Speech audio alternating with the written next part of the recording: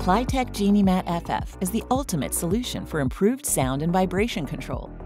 Made from up to 94% recycled rubber content and backed by over 250 independent laboratory and field tests, Genie Mat FF has been selected and used in some of the best hotels, apartments, and condominiums in the world.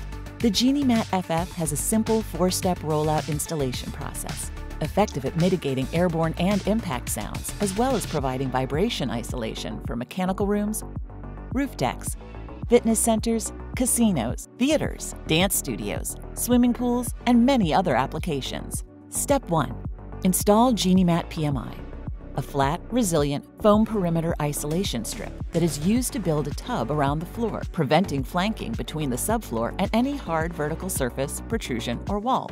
Attach at the base of the perimeter wall of the entire subfloor, as well as the perimeter of any protrusions, prior to unrolling and installing GenieMat FF products in order to isolate or break the vibration transmission path between the floor and the wall.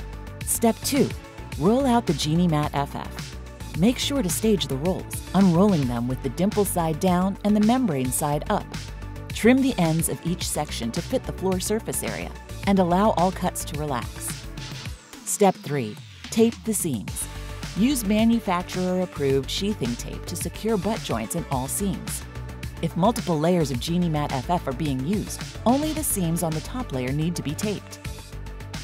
Step 4. Install the subfloor. Genie Mat FF can be used with either a dry panel subfloor or poured concrete topping.